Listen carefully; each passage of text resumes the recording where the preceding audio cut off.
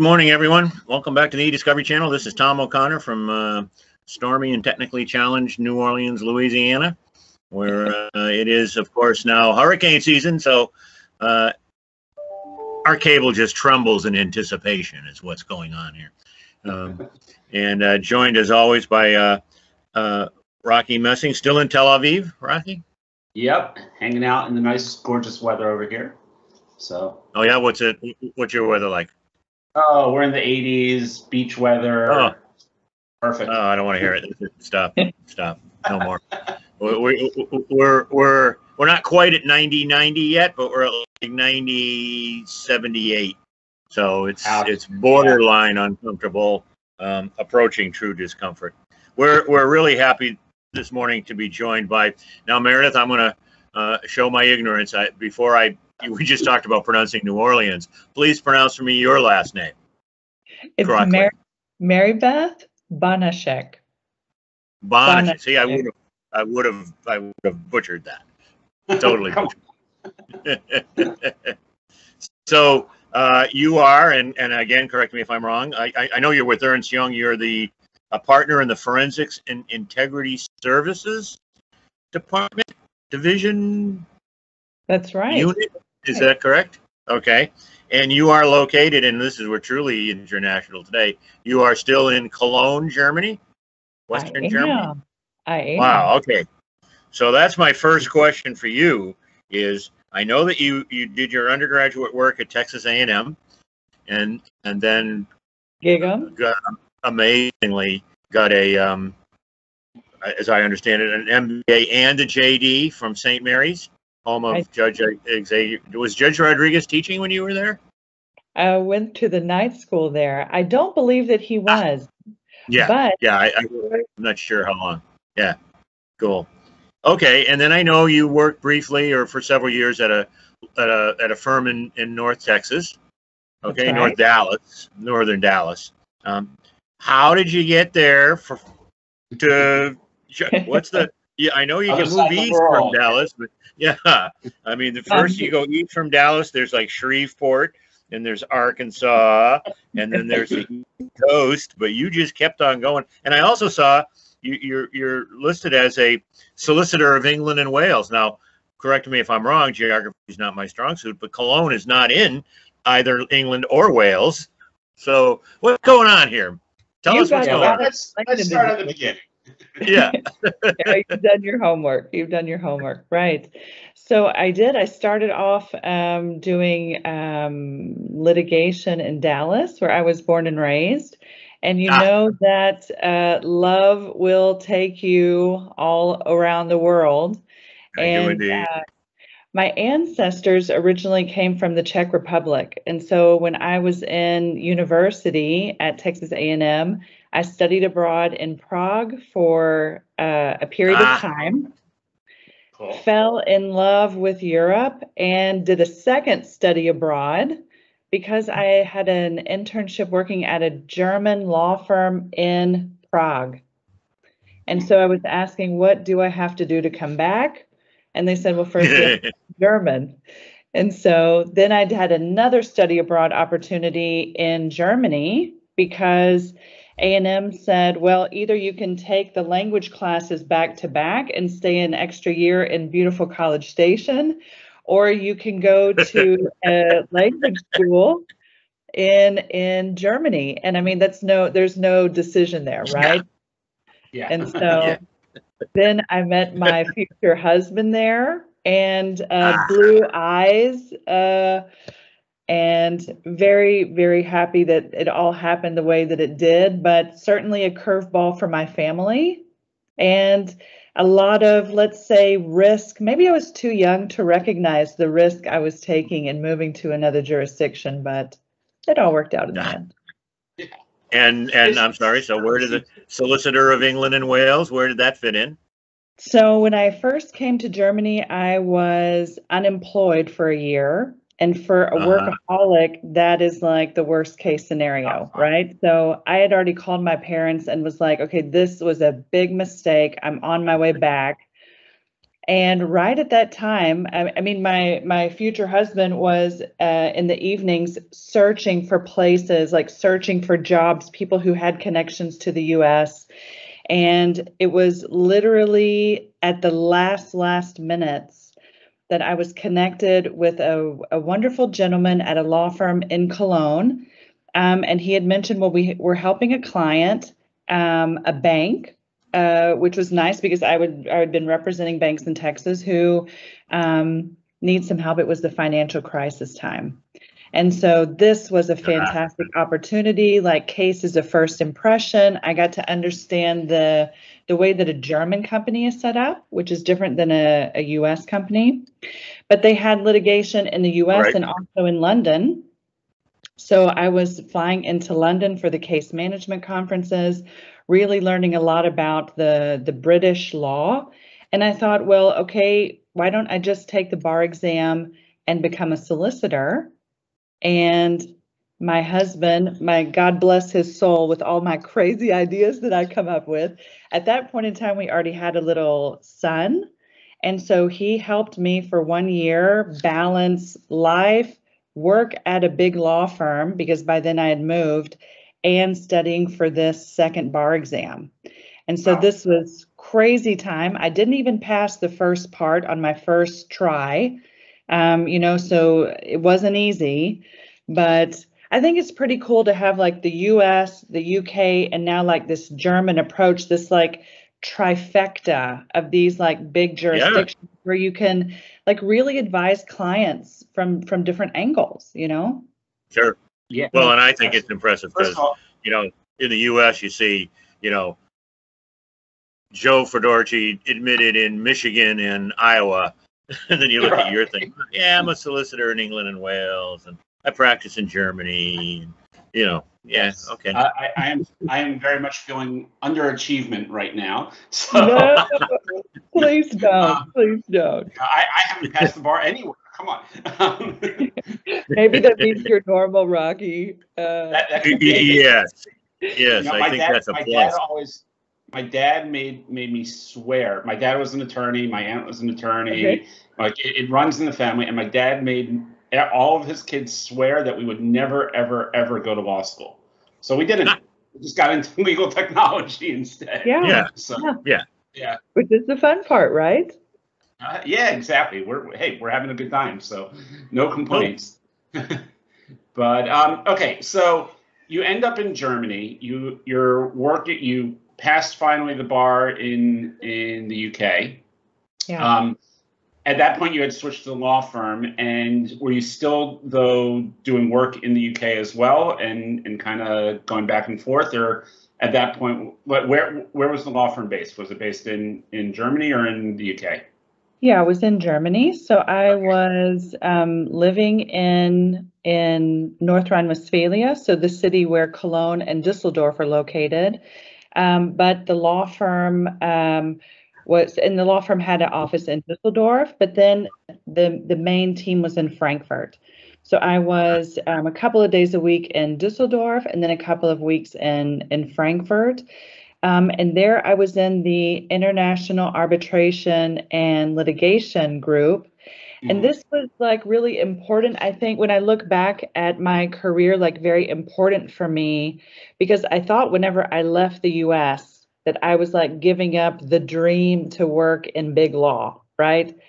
And these were like the conversations I was having with my husband before, like, why, like, I can't move to Germany Right. because I'm not a German lawyer, right?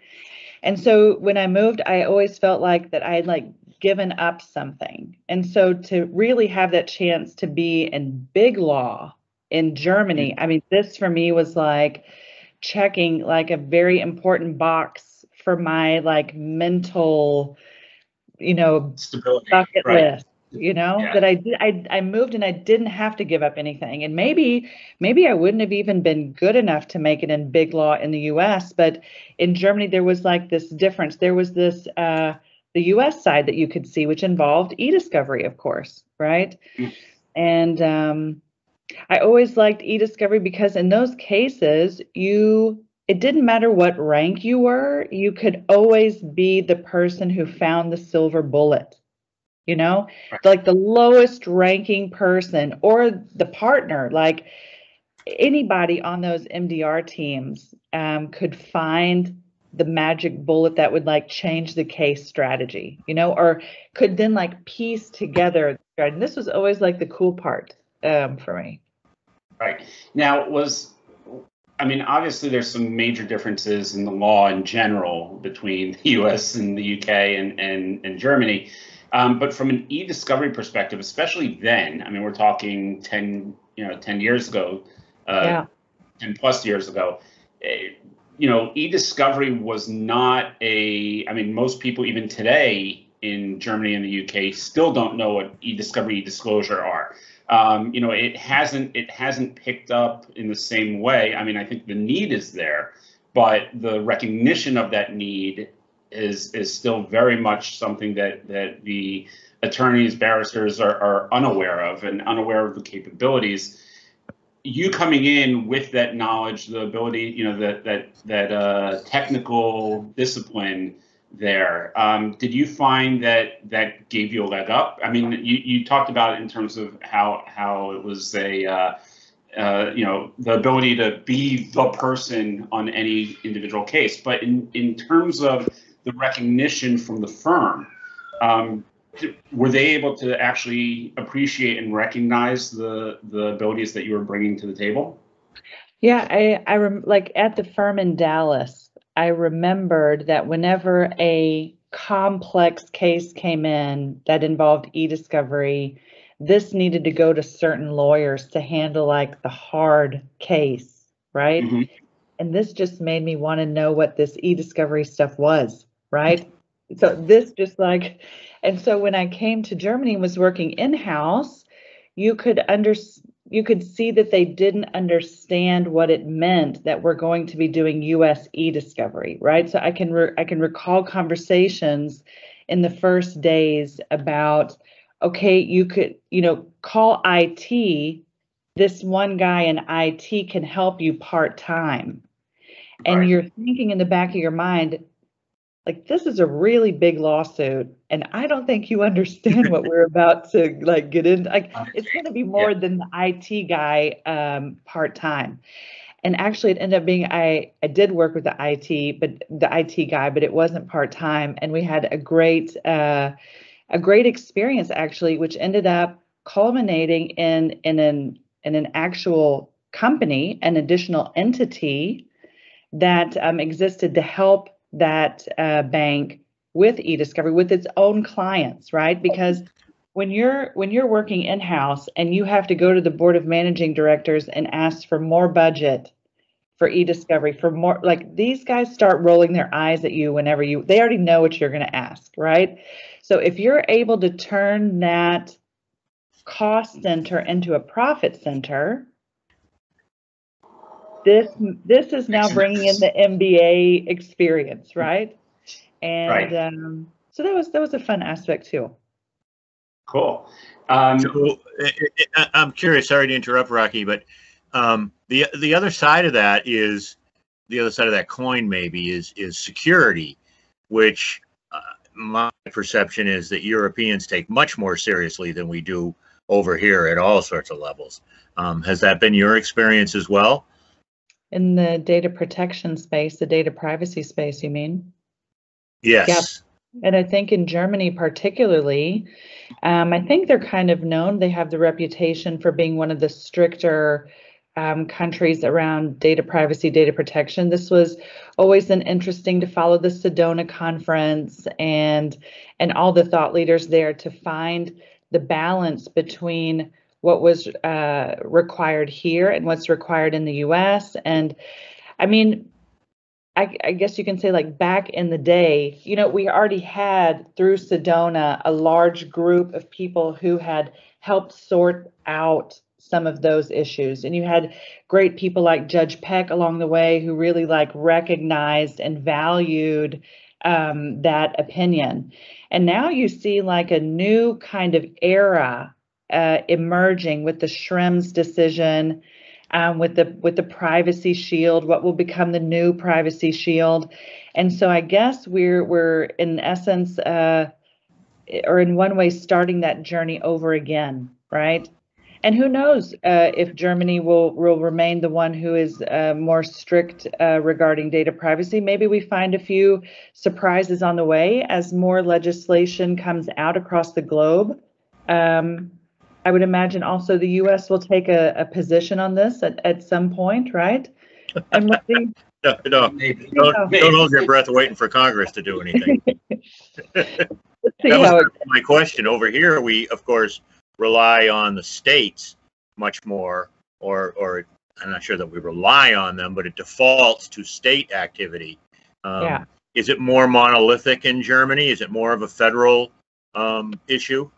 We have 16 states, so to say, and they all have their own individual um, authority, Uh-huh. and there is an additional federal one. But you know, each of the authorities comes with their own personality um, and their own viewpoint or their own desire to speak or not speak up about an issue to the newspapers or uh, to to do, let's say, audits uh, on certain companies. And so you see some variety in the same way that you would see it in the U.S. Uh, And where does the GDPR fit into that?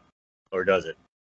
So um, this, be, so GDPR, because it's a regulation, Ah. um, this is different than a directive. And so the regulation is automatically incorporated into the law. Ah. But there are specific pieces where the countries can deviate. An example of this would be um, a child is defined to be X years old. And some people might say, okay, it's 16, not 18, or it's 12, or, you know, these are examples that you might Right. relate to from from the US side. But Right. So, So that's a lot of balls to juggle though for you Yeah. practicing. It's- Yeah. it- it's, Great it's though, right? definitely, uh, it's definitely trickier, and and I think you know for people who actually get it and understand it, it, it gives you a lot of opportunity to play that essential advisor role, um, which brings us to EY. Um, you know, in, in the in the role that you you play today, um, where you are able to, you know, not just as a attorney for a law firm, but actually, you know, with a consultancy and advisory role. Um. You know, how how how's that been going? You've been there for what three, four years, something like that, right? Yeah, it's a really good fit, right? So it's not behind a desk writing memos anymore.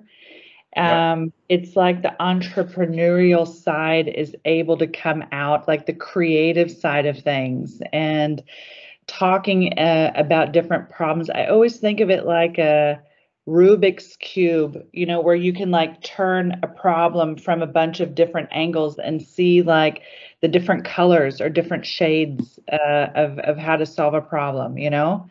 But it's it was a good move. I, it took me a really long time to figure out should I leave law. Like, this is a big deal in my brain because I had like defined myself uh, as a lawyer, and so how could you like leave law?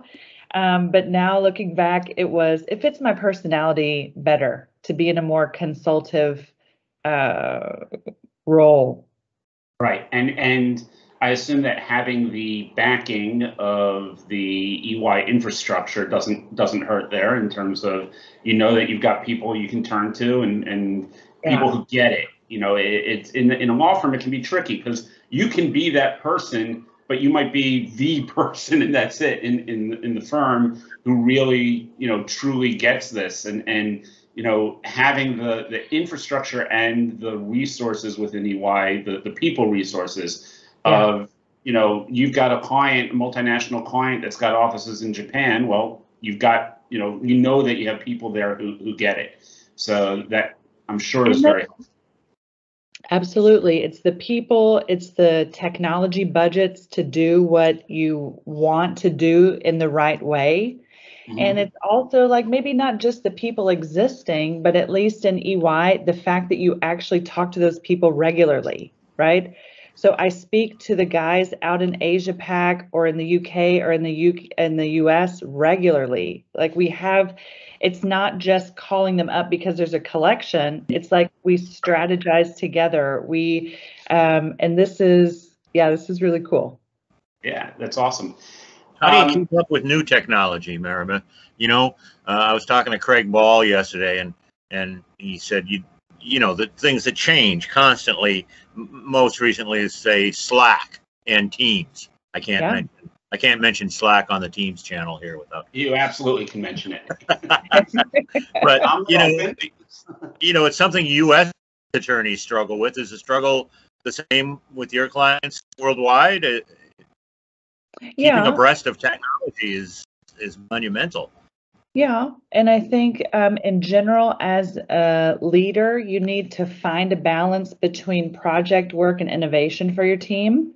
Um, you need to keep them challenged, not just with topics that you know are on the desk, like how do we process Slack, how do we handle this, but also questions that the clients are not asking for yet, right? Right.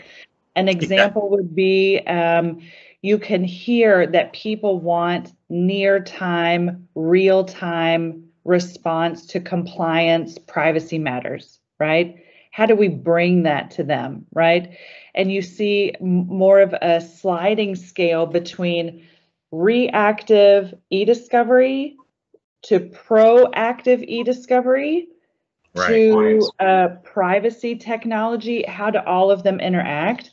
And how do you do that? I mean, you stay in contact with um, our strong alliance partners, Microsoft being one of them, um, and also the tech companies, right? There's lots of startups. I, we look at so many demos. Uh, we, of course, want to be engaged with um, the new technology because even if it's not necessarily our technology, some of the technology companies say, can you come with us to market and be the consultants that talk to the people to use our technology, right? And this makes sense because if a company buys a, a cool new toy, uh, but they're not using it, and the com- the technology company can see that they're not using it, well, let's go talk to them and figure out how they can maximize that budget that they spent buying the tool, right? It might not be for what the tool is intended to be. It might be a new creative idea.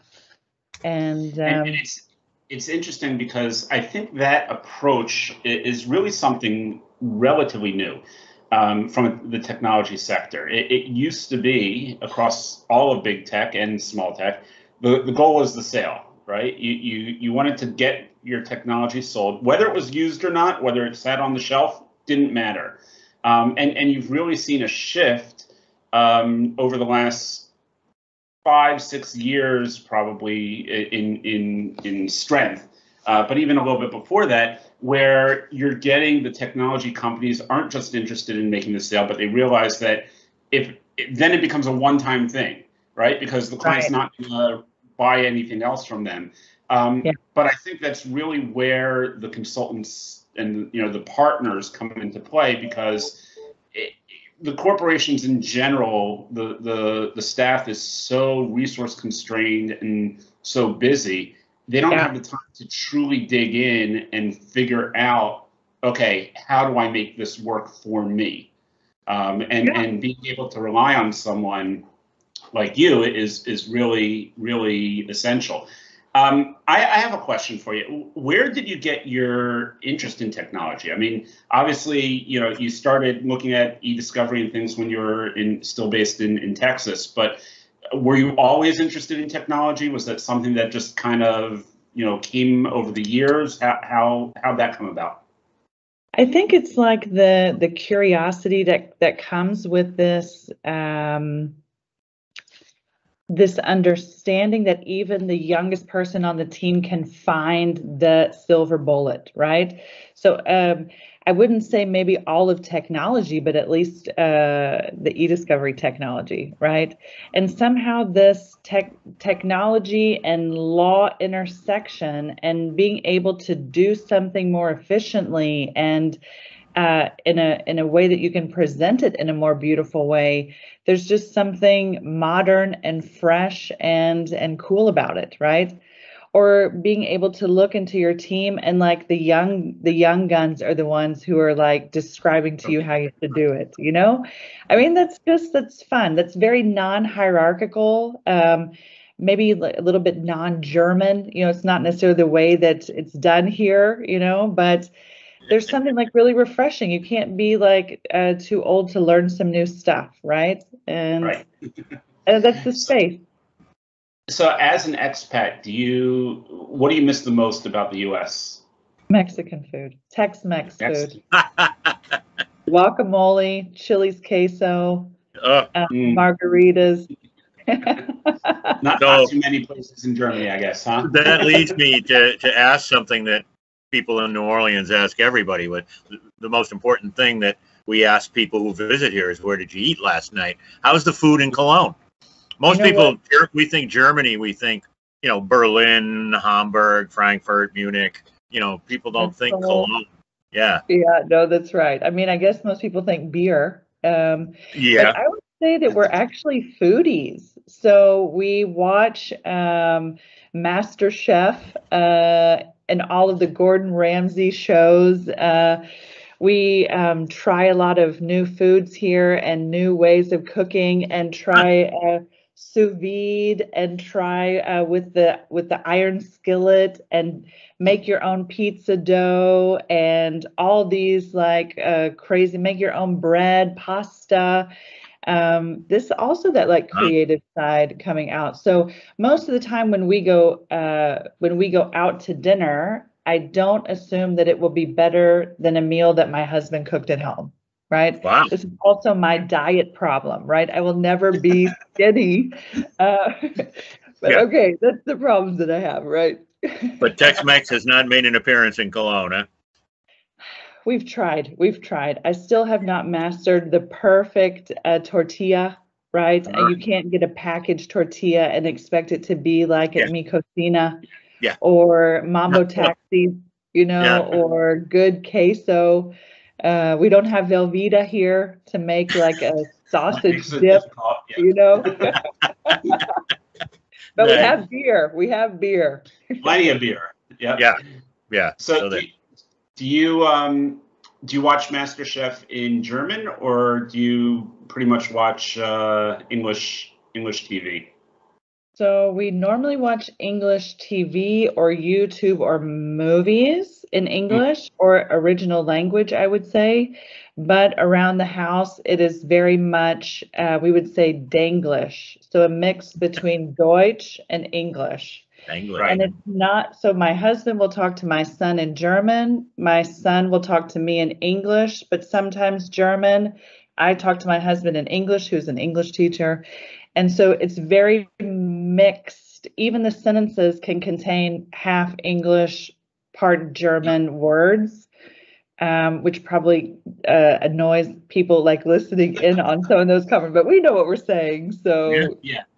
I, I I find that that it's very much um, at this point in time, I've got like 80% capacity in Hebrew and 80% capacity in, in English. And my, Yeah. my English has gone down, my Hebrew's gone up, but I can't talk correctly in, in either one at this point. So Yeah, it's yeah.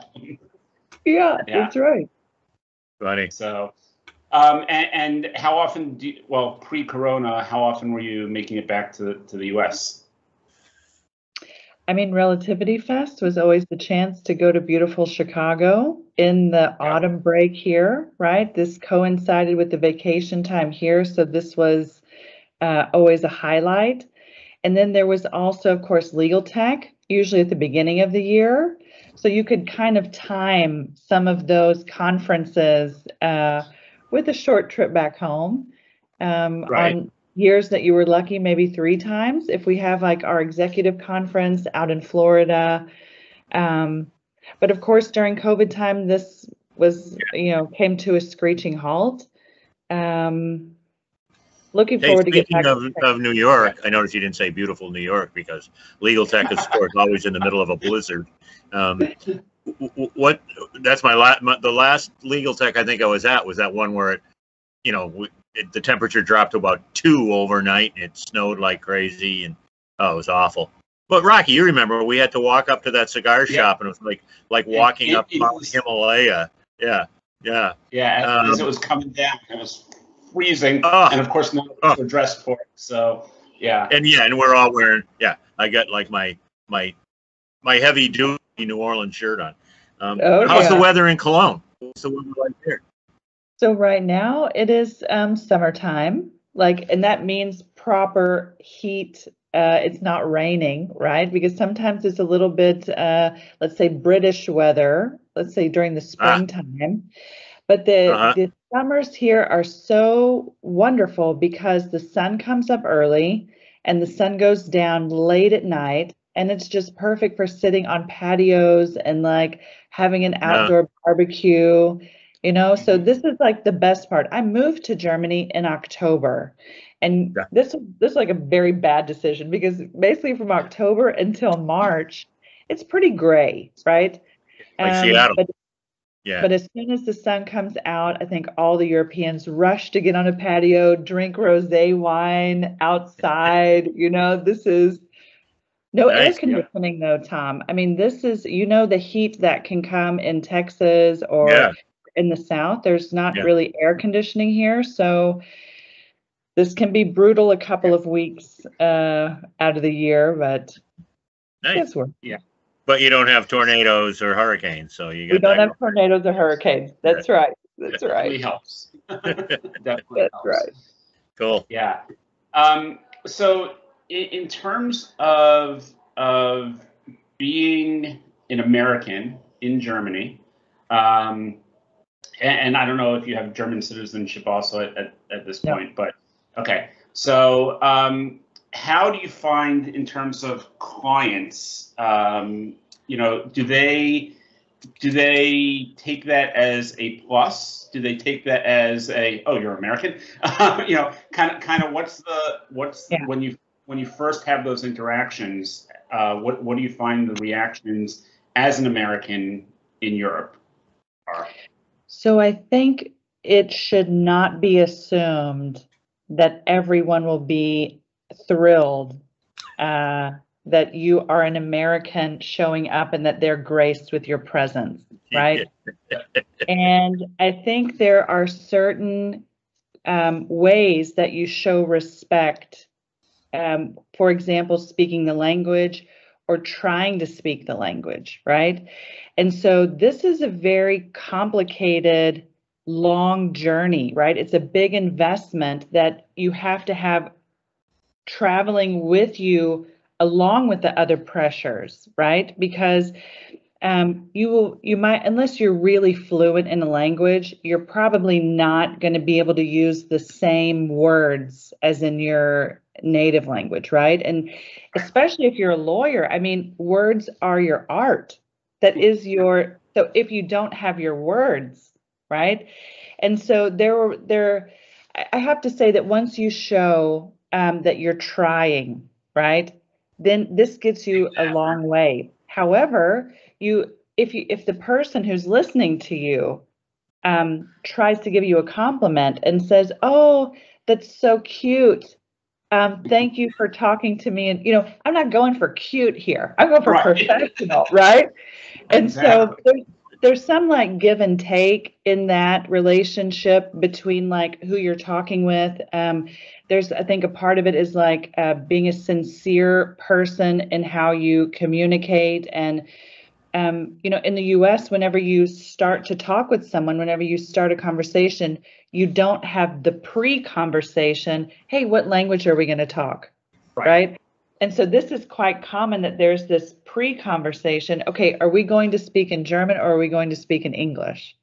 And this is a little bit weird if you're not used to it. Um, but i mean there are many germans who speak english of course but it's always good to remain respectful and to keep the language skills up because there will come a time when your superstar client uh, has a person who doesn't speak English or doesn't feel comfortable speaking English, and then you have to be able to switch. Yeah. Um, Makes sense. My My- brother-in-law worked for years for a company called uh, Alstom, and they were based in Paris, although they were incorporated in Switzerland. Their manufacturing facility was in, I believe, Hamburg. they, they make power plants, or he worked for the power plant division. Yeah. Um, but he he was responsible for installing them in China, and he said Okay. the he said the language issues just became monumental. Because of course he said, and I, being the typical American, spoke none of those languages. Yeah. Very Right? complex. Yeah, he said, it, it, it- he said- and then and then lawyers would get involved for the contract negotiations, and he said, I just kind of be sitting there like the dumb American, like, yeah, all right, tell me when you all are done, and somebody please tell me what you just talked about. Right. Yeah. Um, so last question for me before we head into uh, into the final question that we're, we're gonna end off with here. But um, how how at this point from a COVID perspective, um, where where are you guys? How's it impacted you from personally and and professionally? Yeah. So I would say pre COVID, I was traveling so much, right? I think the initial uh, response was thankfulness. You know, my body could recover and didn't have to go from taxi to car, you know, planes, trains, automobiles, you know? And this was really great. I could see also uh, personally uh, my son's English getting better because I was around, right? Uh. Even if I'm like in my office, you know, for however many hours a day, um, you know, my husband still knows that I'm here. My son knows that I'm here and not uh, traveling somewhere. I would say that with the team, um, I actually saw them more as soon as we got the Teams video capability, um, because we I could see their face more, right? And so arguably, I saw them more. We had more interactions because I wasn't in the taxi or in the airplane, you know. And so, I mean, honestly speaking, I would be very happy if things stayed uh, work from home ish and not go back to crazy travel schedule. Um, let's see how realistic that is, right? I mean, you know what you get into when you're a partner at a firm like this, and you also know that there is the value that clients have of seeing you in person and even sharing a meal with a client, right? To have a discussion over lunch in a relaxed atmosphere. You know, e-discovery is not always about fun topics, right? So to It's not. You know, Come on. when the Yeah. regulators, when there's deadlines, when there's complexities, like sometimes just having a meal together is is um, is a good way to clear the brain and like uh, determine uh, timings and schedules and strategy and things like this. And Yeah. yeah. Little Cementing the disappointed relationships. yeah, little disappointed in in how quickly the vaccine was rolled out here. Um, you know, stereotypically, the Germans are good at logistics, uh, so would have expected something a little bit quicker. Uh, but I also learned during the COVID times how difficult it is to have for a person to have a strategy, right? So in a leadership role, you have to have a strategy. You have to be able to communicate a strategy, even in times of like panic, right? And when you think about how hard it is even to have a phased approach strategy, right? Um, or to not, yeah, just to come up with a strategy. That's a hard thing. The hard thing. Um, and to get, getting people to actually understand the reasoning behind the phased approach is even even harder. You know, Yeah. To, to really recognize the fact that like we have a strategy. First of all, it it, it, it can be really difficult to get the, that buy-in. You're speaking for the Israeli now, right, Rachi? Is, Israel was Israel was uh, did, did Yeah. it pretty well. so, Yeah, but even not so, so not even so that- much over here. from a communication standpoint, it was still there was a lot of pushback, and there still is a lot of pushback on on Yeah. a lot of the. Oh, yeah. There was a great article, I think it was in the New York Times this morning, about they compared the difference between two states, I won't name them in the United States, that took two different approaches. One rolled out the vaccine to doctors and hospitals and, uh, you know, medical centers, um, and the other turned it over to their counties, to county health agencies. And, and the difference in how that impacted people and got to people in different areas and and what the vaccination rates were. Just illustrated, you know, so you know we've got 50 states, and so basically we had 50 different plans uh, for how this was going to get rolled out, and um, it, it yeah, it, it it it was problematic. It was problematic. But that's a great point, Meribeth. That it it you know it it shows the need for strategic planning and everything. you know. Yeah. We're facing so Tom- much disruption these days. Yeah. You have to have a, str- you know, you have to know how to establish a strategy. But Yes, my my dad was a an educator at the secondary level in the United States. He moved up to eventually become a principal, but in the 50s and 60s, all of those teachers who would come back from World War II, they were also coaches. They got paid separately to be a basketball coach or a high school coach. So yeah, all my dad's friends were also coaches, and I hung around with them, and it was really interesting. I never could quite tell was it because of their military experience in World War II, or were they taught this as coaches? But that was something they constantly stressed: was have a plan, have a strategy, have a backup plan, yeah, and then when yeah. it fails, have a third backup plan. Backup, Yeah. backup. And they, you know, they harped on that over and over again. What's your plan? What's your strategy? And then, and what's your backup? As Browning Marean used to say, um, I don't know if you knew him well or not, Meribeth, but he was, he was great. He, you know, he used to repeat that statement that n- no strategy survives first contact with the enemy, or as, or as Mike Tyson put it, everybody's got a plan until I punch in the mouth. yeah, exactly. But Okay, yeah, so it's, Tom, it's, I- yeah. I- unfortunately, we are we have reached the end. No. Let's wrap this up. the, yeah, we're the running. words I always hate to hear because you know Rachi knows I could just interview myself all day. Um, that is true. And, and when So- we've got a great guest, it, it is. yeah, hard to- exactly, exactly. This was a this was great because you're you're you're really engaging as well as knowledgeable, Barry. So that makes our job easy. Um, Yep. Okay, before I ask the final final question, I've got one little one that I ke- I've started asking people right at the end: Beatles or Stones? Oh, Beatles. All right, there you go. So our uh, our our final closing question is: um, if you could spend a day with anybody from our profession, um, Mhm. and I kind of mean that globally, like mostly e-discovery, but maybe you know legal in general. One Yeah. person, they can be living or dead, um, but you could spend a day with them doing anything you want. Wouldn't have to be work. It wouldn't have to be you know collecting documents or talking shop. It could be um, you know going out to a great Tex-Mex lunch and and in North- Yeah. in Dallas, whatever. Who who would that be? What would you do?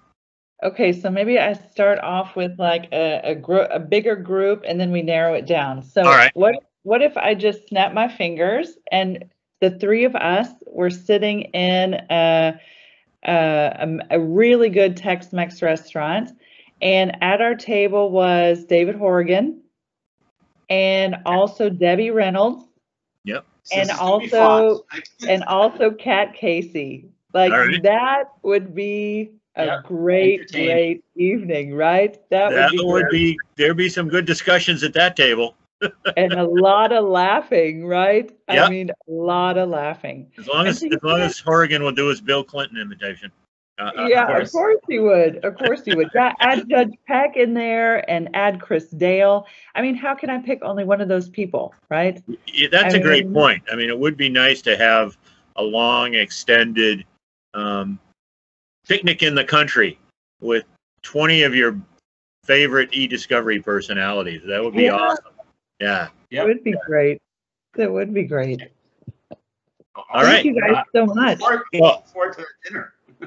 Yeah. Some now you now you got me. Making me hungry. I, I was going to say it, it's just a it's coming up on lunchtime here, and by lunchtime I mean really any time between 10 a.m. and, and 3 p.m. Yeah, yeah. in New Orleans. And so yeah, I'm, now I'm now I'm really hungry.